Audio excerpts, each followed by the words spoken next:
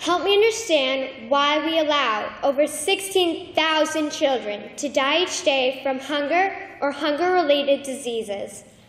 Help me understand why it is acceptable for the 0.1% to control majority of global resources while 6 million children die of starvation every year. Help me understand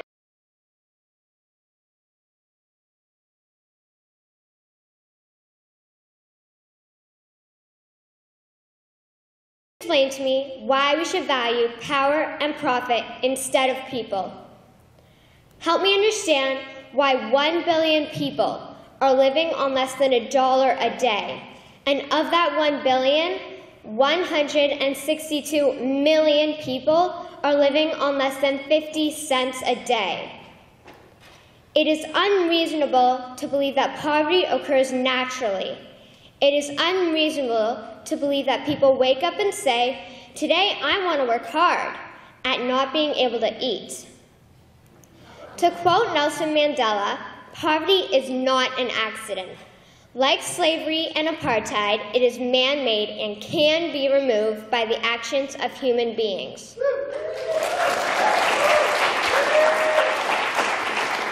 So, if poverty is not an accident, then what is causing this pandemic we call poverty? It is the point of this speech to argue that a corrupt and violent group of people, through the use of governments, banks, and corporations, are causing the poverty we are seeing in our world. Allow me to explain how globalized banking is causing poverty, why this should matter to us, and how we can change it. What most of us understand is that ex extreme poverty occurs when people are not able to procure their basic needs, such as water, food, sanitation, clothing, healthcare, and education.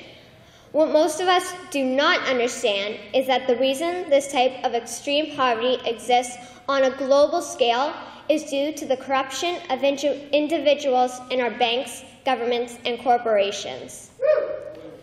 How do banks fit into the corruption? They are the credit creators. Nations access this credit, which creates the debt money that, the debt money that will be owed back to the bank. Attached to this debt money is compounded interest. This interest can never be repaid because the only ones allowed to create money is the banks.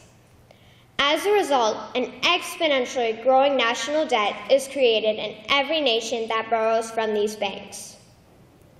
How do governments fit into the corruption? They are the policymakers and the tax collectors.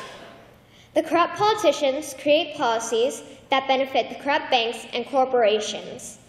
These same politicians create taxation policies that lead to wealth redistribution from the poor to the wealthy bankers. Because the tax laws benefit the corrupt banks and corporations, the people who can least afford to be taxed carry majority of the burden. So how do corporations fit into the banking scam? Organizations like the World Bank, the IMF, and the WTO convince countries who are resource wealthy to participate in their centralized banking scam. Government leaders who will not support the banks are forced out and new leaders are put in. These leaders are paid to participate to the detriment of their country. These countries are then destroyed through the looting of their resources, the enslavement of the people, and the denial of benefiting from the profits derived from their own country's resources.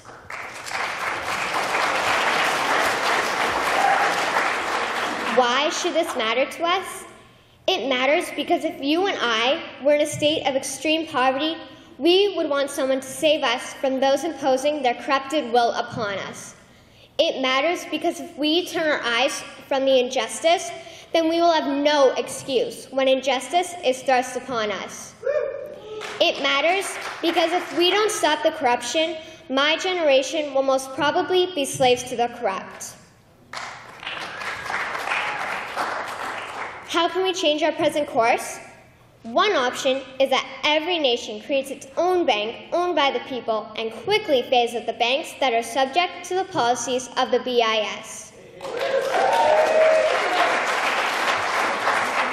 Second, close down the entire global centralized banking scam. Then make these corrupt criminals associated with these organizations accountable for what they have done. Third, each nation begins to create its own money supply to help create schools, hospitals, farms, and any other infrastructure needs. Any and all profit will go to the people and not private global corporations. In conclusion, we could begin to remedy the issue of poverty as well as other key issues such as the environment, energy, health, and education simply by stopping these corrupt individuals and groups. Albert Einstein once said, The world as we have created it is a process of our thinking. It cannot be changed without changing our thinking. So let us change our thinking on governments, banks, and corporations so we can eradicate extreme poverty. Thank you.